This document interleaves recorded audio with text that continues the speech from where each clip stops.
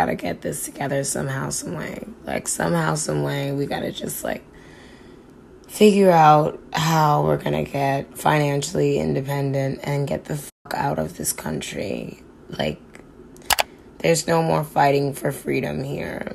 You know, there's there's like there's no more fighting for freedom here. We just need to hoard whatever wealth we have, whatever resources we have, and make a mass exodus.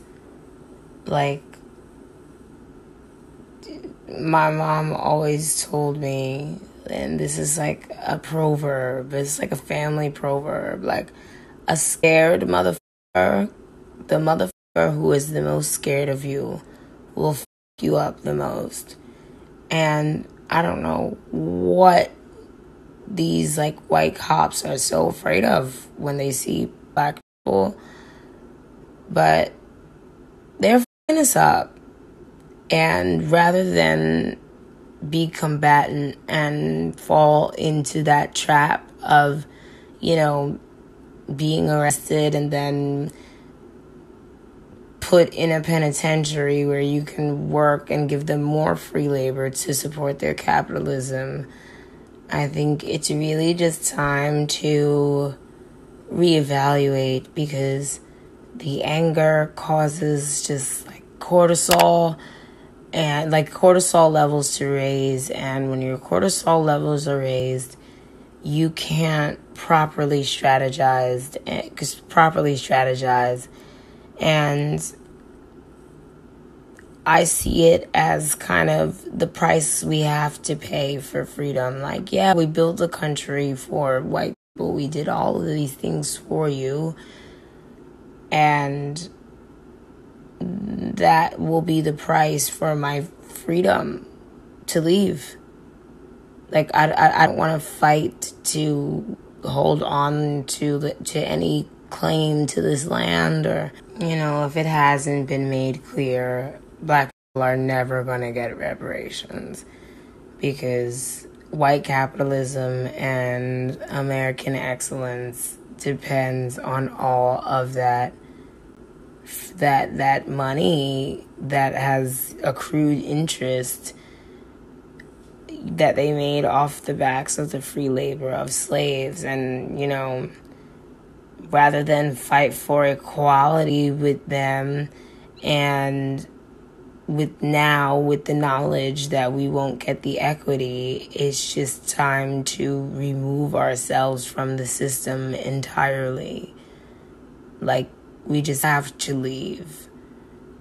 And it, it might it might be like a prideful thing you know like we also deserve to be happy and healthy and we also deserve like a beautiful human experience that doesn't include these crazy crackers. You know like i don't know how many different ways i can explain my humanity. I've done it so many times and it's exhausting. And all this like Black Lives Matter that white people are doing now, it's too late. It's way too late. I absolutely empathize with protesters, of course. Like, I know, like, you guys have seen my anger. I know what that rage of anger is like, but that rage of anger is extremely unhealthy. And it's all part of, like, the psychological terror that kind of keeps us where they want us to be. Uh, we gotta transcend that and we gotta realize when things are being set up and plotted just to evoke black emotion and to distract us. This is because they want us distracted and distressed. And my plan or I my proposition is really just we got to go hard with supporting black owned businesses. And no, don't take any venture capital from any white venture capitalists. and we just got to get out. We got to get out. They actually have to get the out of here and leave white people be. Let them let them deal with the problems that face their country. I don't know where we're going to go, but it's time to like start making those plans to apply for asylum in other places because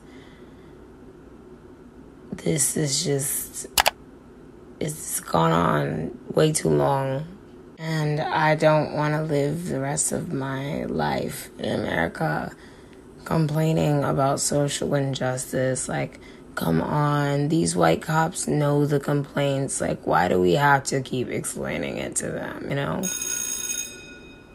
I'm not, this is not to diss anyone who marched or protest, but that's another thing they expected us to do. Like, we've got to do the complete opposite of that.